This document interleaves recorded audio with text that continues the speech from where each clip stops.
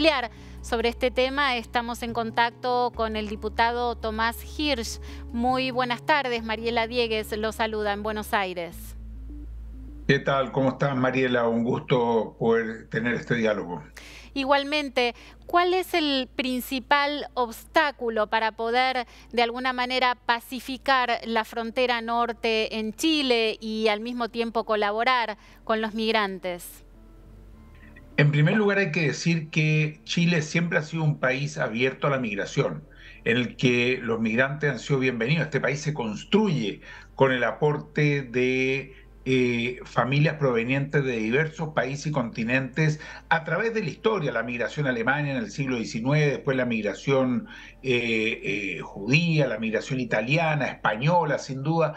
Por lo tanto, no es un tema nuevo y han contribuido siempre a mejorar el desarrollo de nuestro país.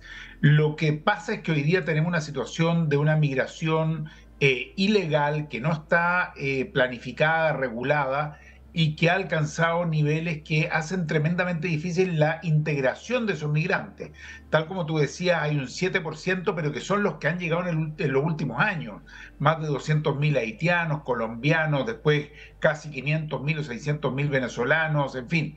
Y eso hace tremendamente complicada. Chile sigue abierto a la migración, siguen siendo bienvenidos en la medida en que cuenten con eh, las autorizaciones necesarias, con las visas correspondientes y se haga, por lo tanto, de manera plenamente legal. Lo que tenemos que hacer hoy día, y creo yo, y es la mirada que tenemos desde el humanismo eh, y, y del Partido de Acción Humanista al que pertenezco, es que tenemos que buscar una solución integral como conjunto de países de Sudamérica. Hay que ayudar a resolver las situaciones que generan la migración en países como Venezuela en este momento, donde es tremendamente fuerte, y al mismo tiempo hay que mejorar los acuerdos con países limítrofes, como lo que ustedes mencionaban en la nota respecto de Bolivia. Es verdad que tal vez hoy día no existe ese acuerdo, pero creemos que tenemos que avanzar para que quienes ingresan en forma ilegal puedan eventualmente ser reconducidos, tal como dijo el presidente Boric cumpliendo total y absolutamente con el imperio de la ley y sobre todo con la protección y cuidado de los derechos humanos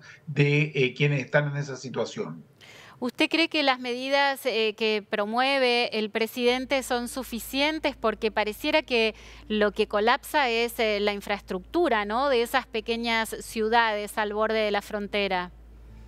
Pero lo que pasa es que la frontera norte de Chile es muy extensa. Estamos hablando de una zona de más de mil kilómetros, ¿no es cierto?, con Perú, luego con Bolivia y en parte también con Argentina, que luego continúa, por cierto, hacia la zona central y sur.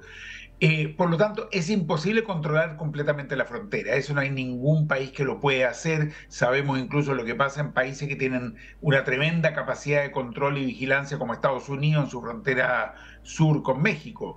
Por lo tanto, acá no basta con eh, llenar la frontera de militares. Hoy día hay una nueva ley de infraestructura crítica que le permite a los militares estar resguardando la frontera y reconduciendo a las personas eh, hacia, o bien hacia la frontera nuevamente o hacia recintos policiales en caso que no cuenten con los permisos correspondientes.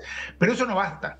Personalmente eh, nos parece que tenemos que avanzar en lo que decía antes. Uno, en mejores acuerdos con los países limítrofes y buscar mecanismos conjuntos, diálogo creo que tendríamos que avanzar hacia relaciones plenas con Bolivia, en primer lugar, para poder eh, mejorar el diálogo y las instancias en las cuales buscamos solución.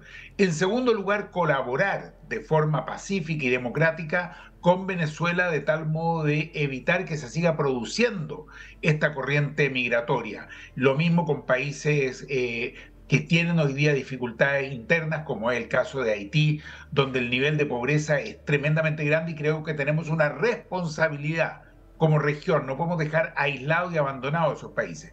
Tenemos que dialogar con Perú para que esa situación que hay en Perú hoy día, que es de inestabilidad muy grave desde el punto de vista político, eh, también se pueda ir eh, mejorando, porque eso genera también una eventual ola migratoria de cientos de miles de inmigrantes que están hoy día en Perú un poco a la espera de saber qué es lo que va a pasar en ese país.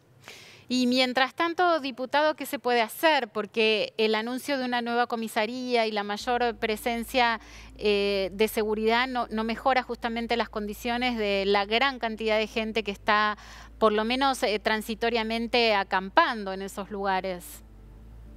Bueno, por eso que hemos dicho que tenemos que diferenciar situaciones. En primer lugar, entre quienes eh, han entrado en forma legal o que han regularizado su situación al interior del país, hay que colaborar para que puedan integrarse adecuadamente. Y hoy día son cientos de miles los eh, inmigrantes que se han incorporado a la sociedad chilena, ya no en el norte, sino en el resto del país. Se han incorporado sus hijos a los colegios, a la escuela, tienen acceso a la salud y han podido ir accediendo también a un, a un trabajo digno y formal que les permita contar con todos los recursos para al menos eh, vivir en condiciones dignas.